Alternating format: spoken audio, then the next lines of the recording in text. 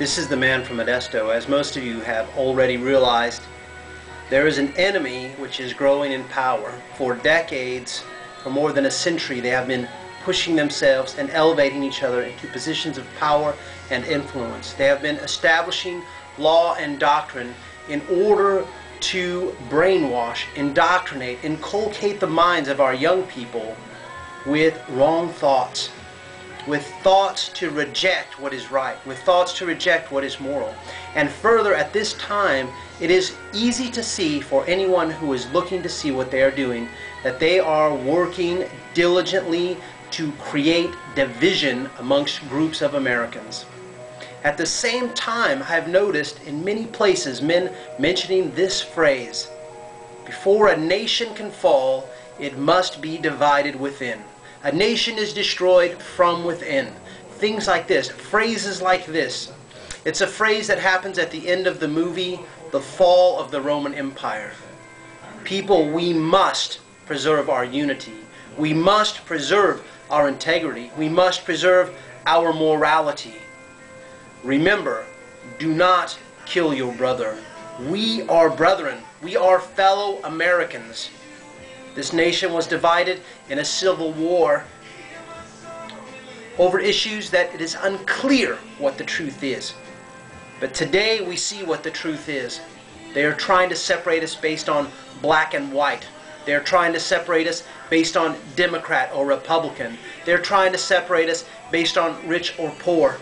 They are trying, the hardest of all, to separate us based on Christian or not Christian, homosexual tolerant or homosexual not tolerant. But really, is very few people who are pushing these ideas. And the rest of us just seem to be letting ourselves get riled up. They are running wild with wickedness and telling us all about it. Why? To infuriate us, to rise us up, and then they blame certain groups on it. But these Satanists have a rule. These Satano-socialists have a rule. Never do the work yourself. Move someone else to do it. That two factions will fight, and you will stand aside and observe the whole thing. We must speak loudly, and more than this, we must take up the banner that no Christian, that no righteous person ever wants to pick up. And it's the burden of prayer.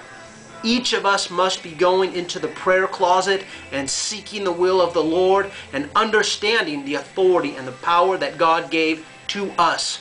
We are called the ecclesia, which is the Greek word for the governing body, not just a mass of people who worship God. Jesus said, You are my ecclesia. To you I give the power to bind and to loose. Because Peter obeyed God, he said, This heart, this is the rock upon which I will build my kingdom, upon the heart of the one who will obey God. And God said, Pray for your enemies. Have unity. These are the things we must do. Those who hate us, we must pray for them. And we need to get into prayer now, regularly.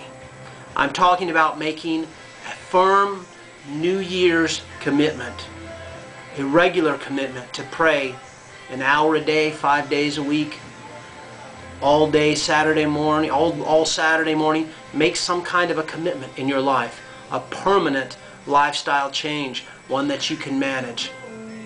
This is the man from Modesto reminding you as always, and listen carefully to my always close, pray or be defeated.